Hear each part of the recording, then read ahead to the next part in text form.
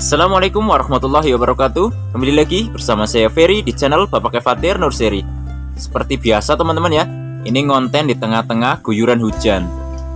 Pada kesempatan kali ini saya mau kasih tahu ya Apa saja yang harus teman-teman lakukan ya Agar anggur pada fase brokoli atau fase bunga ini Bisa berhasil menjadi buah. Jadi memang pada saat-saat brokoli seperti ini memang banyak hal yang perlu teman-teman perhatikan. Nah, ini saya shoot yang bagian ini aja biar kelihatan jelas. Nah, pada saat fase-fase brokoli seperti ini teman-teman ya, yang harus pertama kali kita perhatikan adalah serangan jamur. Jadi pada saat baru brokoli seperti ini, kalau sudah kena jamur, terutama jamur embun tepung, ini biasanya akan kering. Kering dan juga rontok sudah pasti. Makanya pada saat fase-fase brokoli seperti ini, ini saya sarankan ya, ini tetap disemprot fungisida. Ini dosisnya rendah saja, 0,25 sampai 0,5 mili per 1 liter air. Kemudian yang kedua, setelah serangan jamur, ini adalah temannya jamur, yaitu hama.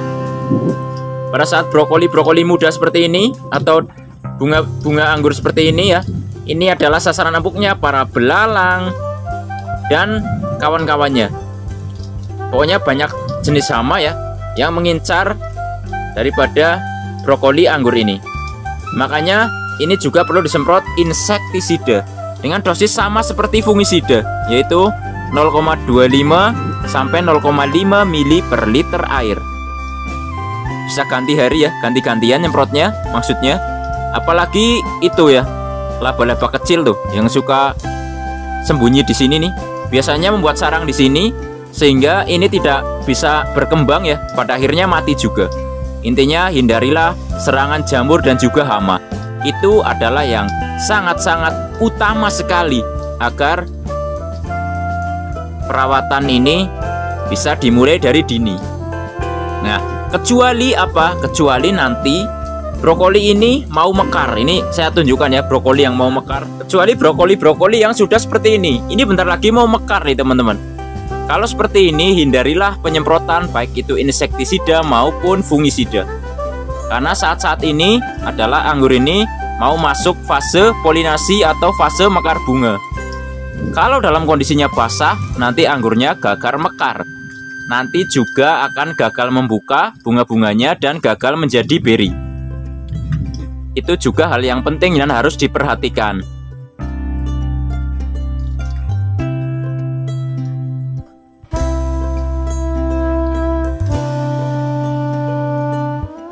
Nah, selanjutnya apa lagi ya?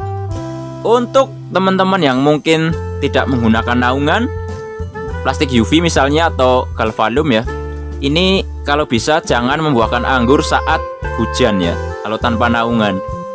Intinya kalau anggur tanpa naungan itu biasanya kalau kita paksa buahkan ya, ini akan banyak sekali tantangannya ya. Baik medianya terlalu basah, kemudian ininya brokolinya basah juga, kemudian rontok ya. Nah, intinya banyak sekali tantangannya.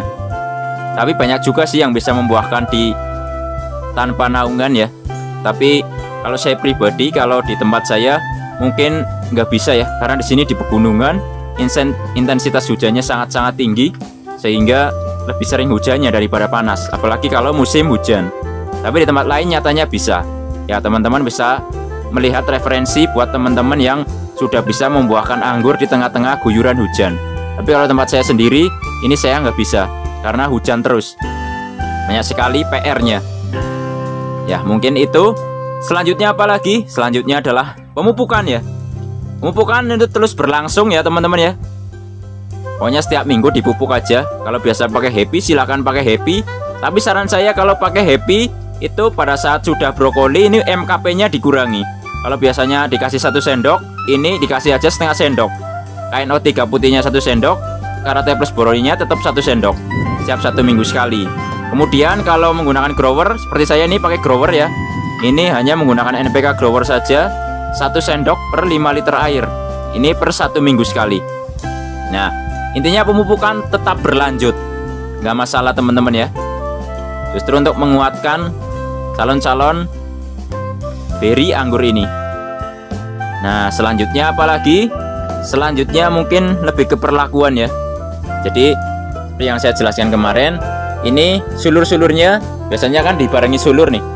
Ini langsung dibuang, sulurnya langsung dibuang. Kemudian ini tunas-tunas air yang tumbuh ini bisa dibuang juga. Ini sekaligus untuk mempersiapkan tersier ini ya.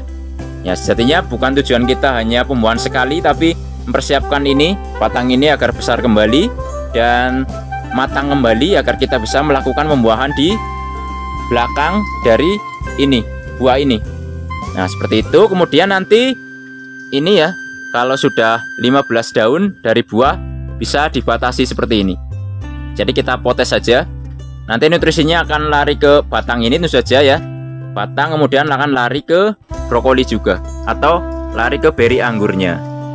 Seperti ini contohnya nih. Lihat kalau sudah berbuah ya. Ini sudah berbuah sudah dibatasi di sana nih. Tuh sudah dipotong di sana 15 daun. Nah untuk memaksimalkan buahnya dan juga untuk mempersiapkan tersiernya lihat sudah coklat ya. Ini bisa kita buahkan di belakang but ini lagi. Sel ini di sini kita buahkan lagi di sini. Minimal 5 dari ini. Kalau ini jenis Dixon ya. Kalau ini jenis Tran. Ya paling seperti itu aja sih teman-teman ya. Dan juga tentu saja pengontrolan penyiraman. Ya penyiramannya seperti biasa aja ya. Bisa dua hari sekali tiga hari sekali ini nggak masalah. Yang penting jangan sampai kekeringan medianya kalau kekeringan nanti ini ikut kering kalau terlalu basah juga nanti ditakutkan rontok juga mungkin itu aja ya kiat-kiat untuk mempertahankan brokoli anggur ini agar bisa menjadi beri atau menjadi buah ya mungkin itu saja yang bisa saya bagikan di video kali ini. Semoga bermanfaat dan menginspirasi. Jangan lupa like, subscribe, komen, dan share agar channel ini makin maju dan berkembang. Wassalamualaikum warahmatullahi wabarakatuh.